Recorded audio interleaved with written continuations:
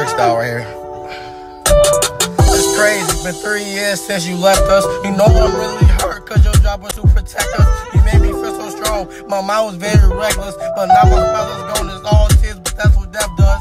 I really wish that you could live another life. And before I go to bed, I have to pray to Jesus twice. When you told me you were gone, I really didn't feel right. I couldn't hold my head up. I was crying through the night.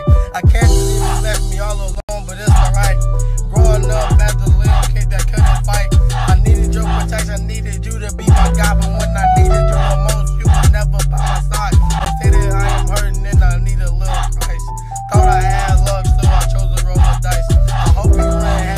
I hope that it is a nice one. They